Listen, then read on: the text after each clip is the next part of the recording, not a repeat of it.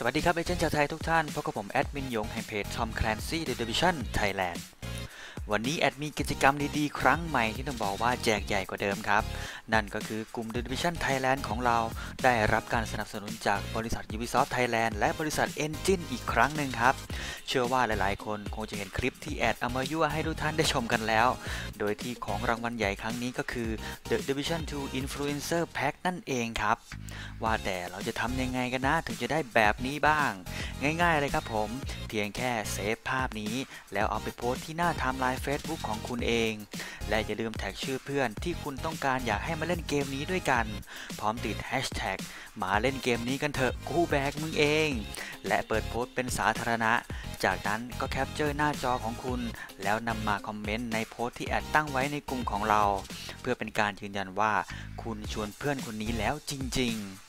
แล้วจากนั้นแอดจะนำไปให้ทีม Ubisoft Thailand เป็นคนตัดสินครับ ว่าใครจะมีเหตุผลในการชวนเพื่อนได้เจ๋งหรือฮาที่สุด อันนี้ก็แล้วแต่ความคิดสร้างสรรค์ของแต่ละท่านเลยครับผม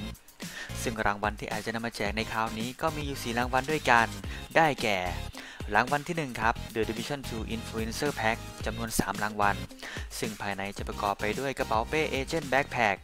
หมวก ตุ๊กตาหมี Tommy the Teddy Bear เสื้อ The Division 2 และกระเป๋า Dark Zone รางวัลที่ 2 ครับ ก็เป็นกระเป๋าเป้ Agent Backpack และหมวก The Division จำนวน 5 รางวัล รางวัลที่ 3 หมวก The Division พร้อมกับกระเป๋า Dark Zone จำนวน 5 รางวัล และรางวัลสุดท้ายครับ รางวัลทีสี่ 4 ก็เป็นเสื้อ The Division 2จำนวน 10 รางวัลด้วยกัน อย่าลืมชวนเพื่อนมาทำหน้าที่เอเจนต์กันได้เยอะนะครับ เพื่อจะได้มาช่วยกันกอบกู้วอชิงตันดีซีให้กลับมาหน้าอยู่อีกครั้ง กิจกรรมสิ้นสุดในวันที่ 28 มีนาคม และจะประกาศรายชื่อผู้โชคดีในวันศุกร์ที่ 29 มีนาคม